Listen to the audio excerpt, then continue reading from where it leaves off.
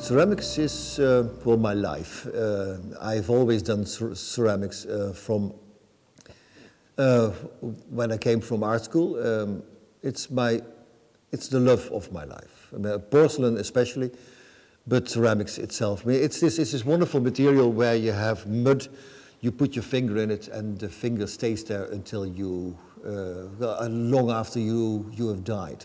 I mean, it's it's it's a thing that lasts a lot longer than you do. When I grew up, I always liked liked design, and uh, for the whole design is.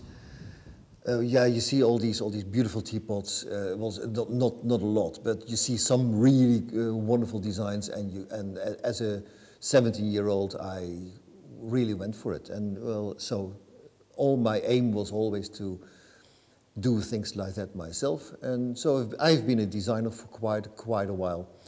And um, at a certain point, the, well, there's always been a, a few different, different uh, things in, in my life, like uh, one side is, is a designer, the other side is uh, an artist who really wants to make just unique objects.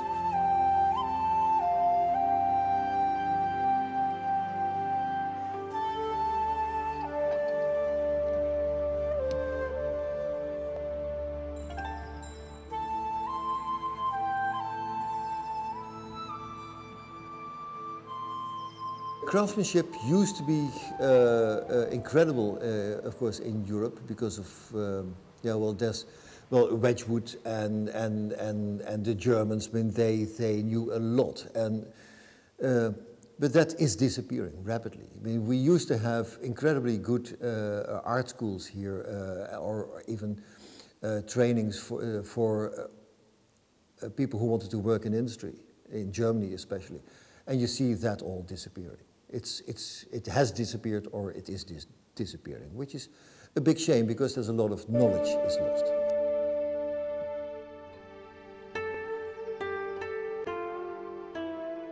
The title of this, of this whole, whole happening here had to do with Delft Blue.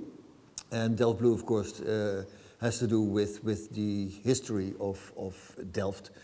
And um, as industry is disappearing, as the knowledge is disappearing, I made uh, a few things that describe the disappearing of uh, these crafts, of these factories. What the last, last pieces that I'm working on is a whole series of a sort of necropolis, a uh, lots of little things that where you can imagine that people would have been buried or something, and uh, and it, that's I have very good ideas about what I'm going to do with those. Yeah, it's sort of a requiem for, uh, for the, uh, the European in industry.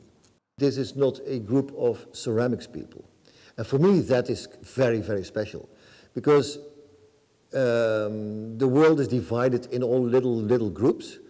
And here we have so many uh, different uh, um, people who one does only painting and the other one does only that and the other one works with, with textiles. And so it's wonderful to, to work with those people and, and to see how they, they look at this material.